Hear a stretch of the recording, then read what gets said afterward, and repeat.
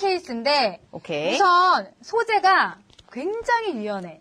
요런 TPU 거 소재. 보자. 벨트가 일체형이에요. 뒤쪽에 네, 음흠. 이걸 꽂을 수가 있어요. 펜, 아, 수납, 오, 맞아. USB. 아, 수납. 대시보드 위에다가 그냥 요거를 딱 받으신 아, 상태에서 접착. 이렇게 자, 이거 잘 튼튼해. 한 번 더 떼봐. 우와, 떼봐. 대박.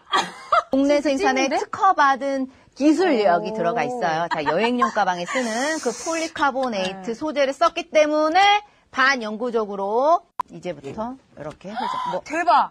그렇지. 필요하네. 괜찮네. 어.